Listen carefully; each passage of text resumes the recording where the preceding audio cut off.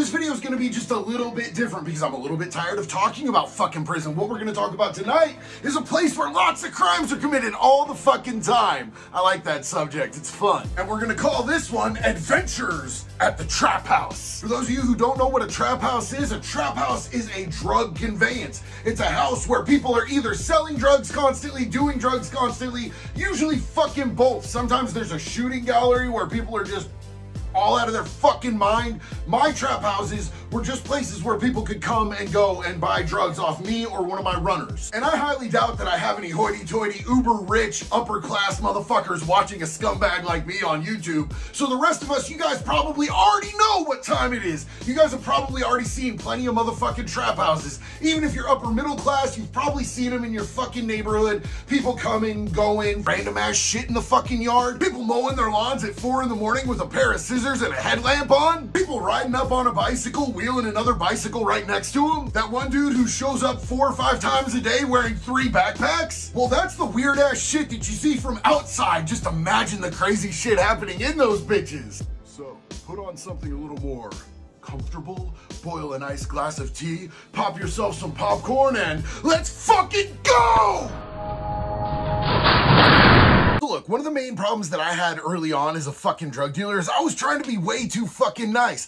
I trusted people, I thought they would be legit, and it turns out most people who are buying drugs just, they aren't. They aren't. Most of them. Since I was doing the exact same drugs that I sold, I had too much sympathy, too much compassion, and I assumed that everybody dealt with things the same way that I did. Like they were trying to do solid business, they were trying to be honorable, they had a little bit of loyalty, and they weren't gonna fuck a motherfucker over. I learned quick though. One of my customers who was buying like decent ass fucking amounts of dope off of me got out of county jail. He had gotten busted, he went in, he got out, he had nothing, dude. Dude was on his fucking dick. They took everything from him, and he was starting from scratch, so he asked me if I would front him an ounce of fucking dope. And me trying to be a decent person, like I fronted him so that he could get back up on top. But I straight up told this dude, man, I can't take this L right now. I cannot fucking afford it.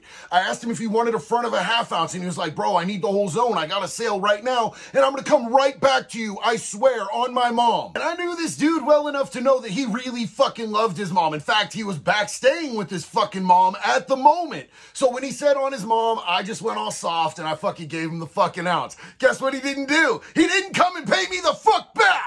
So I try to call this motherfucker, and guess what? My phone is blocked from his fucking phone. You know how fucking infuriating that shit is? And like I said, this dude had just gotten out of jail. You know what he went to jail for? A stolen car. You know what he had been to prison twice for? Stolen fucking cars. So I did what any good Christian would do. I went and stole a car and I parked it on his mom's front fucking lawn. Did I get your attention yet, motherfucker? And the answer was no. He still didn't fucking call me back. So I did it twice more. The showed up the third time and were pounding on his fucking door. And that's when I got the fucking call. Bro, you gotta stop fucking doing this. I said, come over here and fucking pay me, bitch. This scumbag motherfucker had me waiting another five fucking hours at my house. He said, I'll be right there. Five hours later, he finally fucking shows up. And at this point, I'm at my motherfucking boiling point. So I go and I open the door and I let him in. And as soon as he walks in, I take my fucking pistol and I fucking pistol whip this dude upside his fucking head with it. This was a valuable learning experience for me. See, I had never pistol whipped anyone like that before.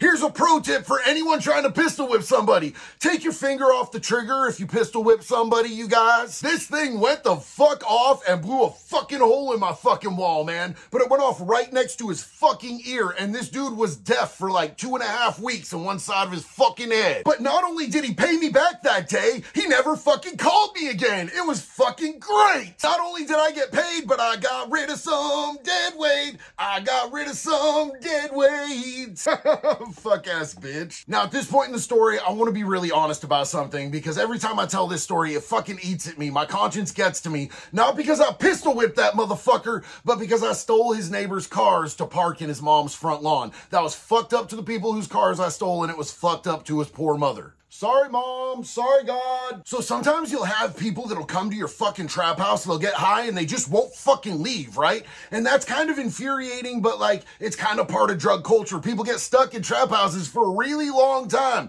days, if not weeks sometimes. But I had a female partner and she was fucking savage, man. She was ruthless. She was also on opioids and she would hang out a lot. She would be there for days at a time. And I kind of let her use my house to hit licks when she needed to as well. Well, she had stolen a backpack from somebody that owed her money and it had everything they fucking owned in it, including their brother's ashes, right? So these people called her finally and they were like, yo, we're going to pay you back. We need our shit back, right? So they came over to the fucking house. They ended up like paying her back and then buying some more heroin. And she said, I want to see you guys do some lines, do some lines. I'm like, this is fucking weird. You want to see them do lines? That's creepy. Okay. But anyway, they did these decent ass lines of heroin off of my fucking counter. And she's like, good job, kids. Now get out. As soon as they left, she started laughing uncontrollably like a fucking hyena. And I was like, what the fuck is really going on? You're acting sus as fuck. And she's like, yeah, well, I cut their heroin with his brother's ashes.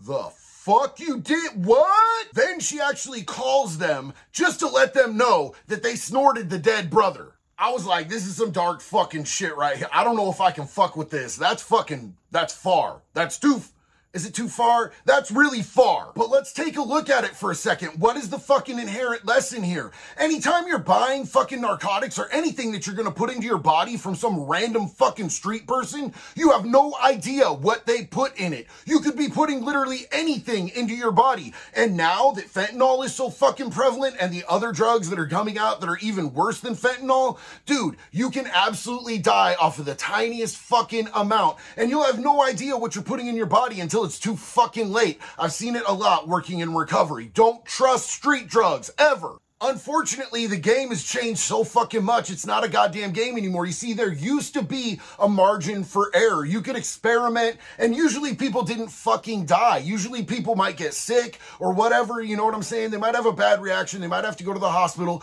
but people were not overdosing in record numbers. 100,000 people die in this country every year consistently over the last few years just from fucking fentanyl, and the numbers grow every single fucking year.